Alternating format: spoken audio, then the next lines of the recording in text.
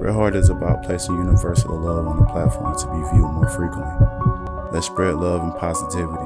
Let love conquer the world. Real Heart means everything to me. It's almost my first love.